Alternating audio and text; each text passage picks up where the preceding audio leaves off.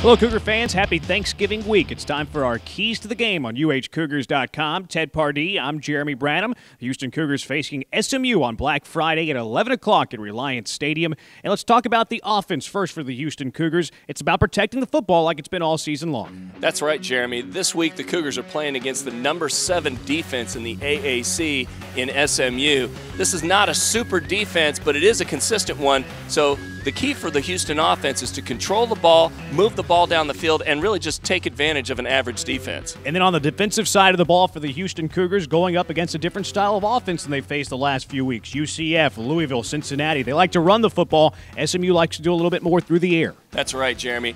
This week, the Cougars are playing against an SMU offense that runs a little bit of air raid and a little bit of the run and shoot. In the offseason, they hired Hal Mumme as their offensive coordinator. So, along with Jason Phillips, they'll be calling both types of plays. And what it's turned into is the number one offense in the AAC.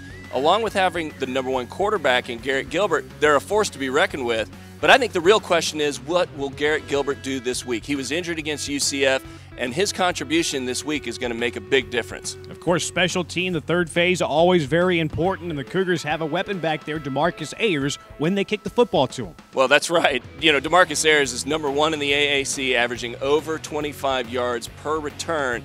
He is a force to be reckoned with this week going against an SMU return team that only averages 18 yards per return. That's a huge advantage to the Houston Cougars. Now, Cougar fans, wrap up your Black Friday shopping with our pregame show at 9:30 on Sports Talk 790. Kickoff scheduled for 11 o'clock as the Houston Cougars wrap up the regular season as they take on the SMU Mustangs.